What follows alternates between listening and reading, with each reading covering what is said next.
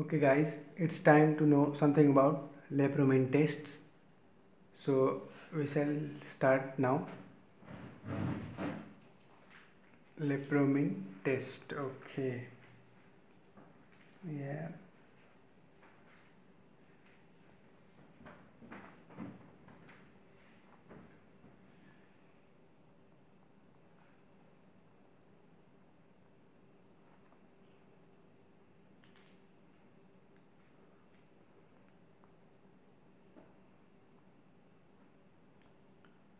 So we shall discuss a lot of points. Not lot actually this is also a very short video. Not short, it's comparatively short than others.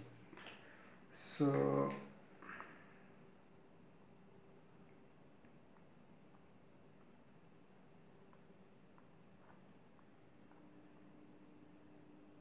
in lepromin test what is done at 0.1 ml of lepromin is injected intradermally and the lepromin reaction. The lepromin reaction is a biphasal reaction.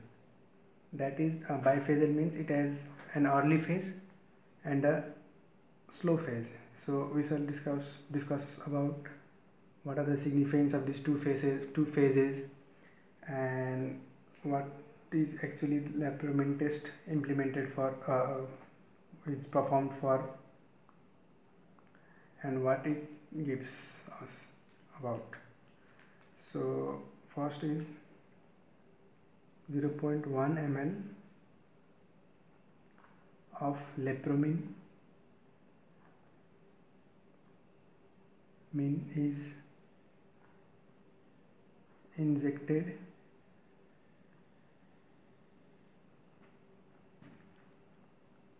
Intradermally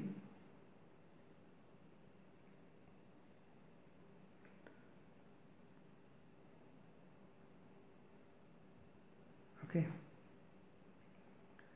And this lepromin reaction.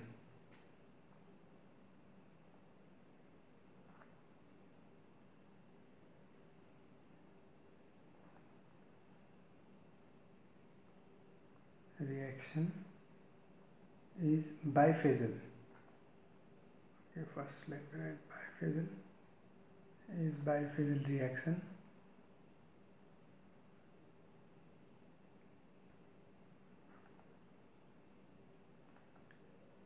that is has two phases.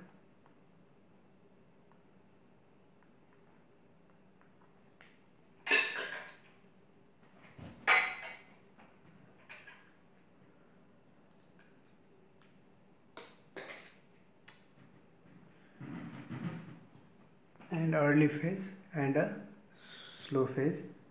So early phase and slow phase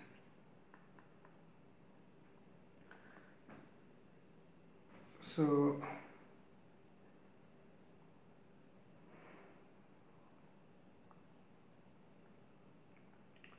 early phase is also known as Fernandez reaction.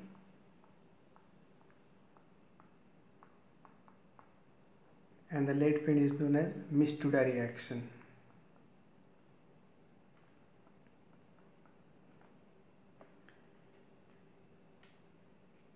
The Fernandez reaction can be seen in 24 to 48 hours. Oh, sorry, seen in 24 to 48 hours and lasts up to 3 to 5 days. Okay, and it is characterized by erythema and induration.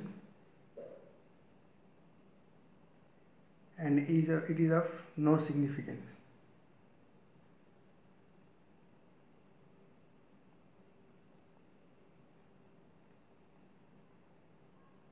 No any significance. Say so the next is Mitsuda reaction. This is seen in a week in one week?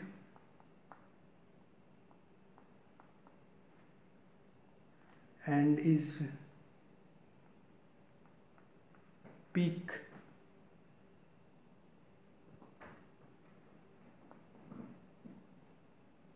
at fourth week and then it subsides and subsides.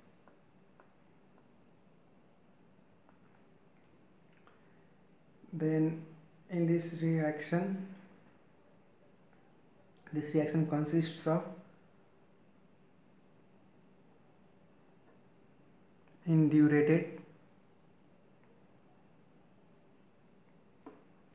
skin nodules which may ulcerate.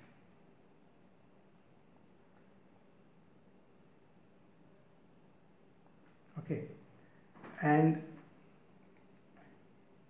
this is this has some this has importance because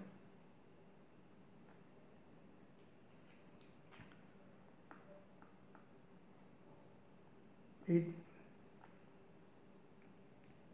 is a measure of CMI induced by the injected lepromin.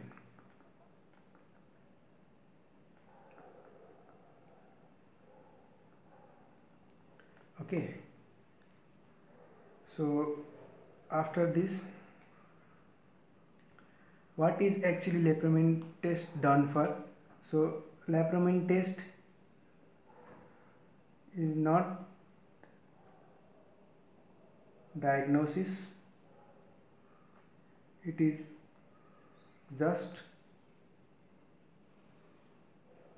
a measure of CMI induced by lepromin itself. Okay. And lepromin test is done to classify to okay to classify by the lesions whether they are lepromatous or tuberculoid. And how it is it is done is if lepromin test is positive then is it is a if you are watching our if you have watched our previous videos you will be able to answer that if the lepromin test is positive it is obviously tuberculoid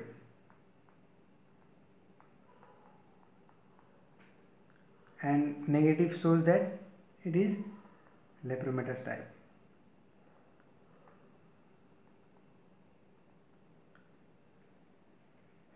And the other point or other thing that why it is done to assess prognosis. The other point is assess prognosis.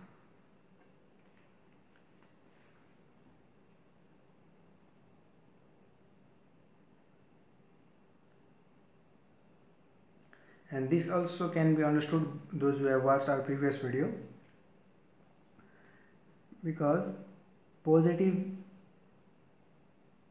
lepromin test means it has good prognosis and negative means the prognosis is poor. So uh, this much in lepromin test and now we should we shall discuss about the laboratory diagnosis and the treatment which will also not be so long and I hope that you are getting the points that I tell you. And these are easy to understand and easy to digest.